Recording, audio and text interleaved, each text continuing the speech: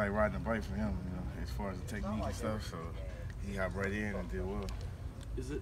Were you guys not surprised? You've probably been around him, but like impressed by just how good of shape it seems like he is still. Yeah, yeah, he's he's been around here, you know, the whole time he was out, just working out. We see him, saw him every day, working out. Uh, even on weekends when we would come, when we would come uh, and do our drills, you know, he was with us, so he was always around.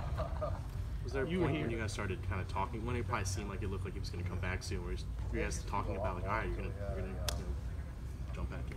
Yeah, the whole time, the whole time he was out, we, we talked to him. Even last year, uh, he was always in our group message uh, from from day one.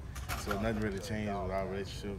And uh, you know, like you said, once things started clearing up and it looked like he was coming back, uh, he already, you know, knew what the deal was. You know, he knew, remembered the plays and stuff. So it was pretty, it was easy transition for him. In What do you remember about him as a freshman?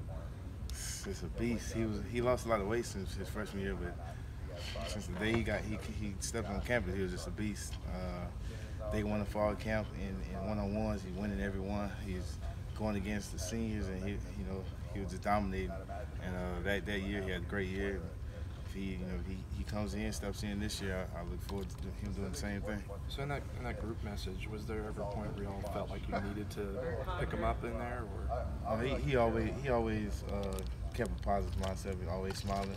So uh, not really. He always you know, looked looked at things on the bright side. So he was always you know uh, looking thinking positive about the whole situation. What was it like in that where he's out in room? What was it like in that room when you guys got the news that he was officially back? Was great. Uh, he was actually at the, in the weight room when we found out, and we all just congratulated him. And uh, it, was, it was a great moment for the whole whole room, especially especially him. So just four games into the season, how would you kind of grade how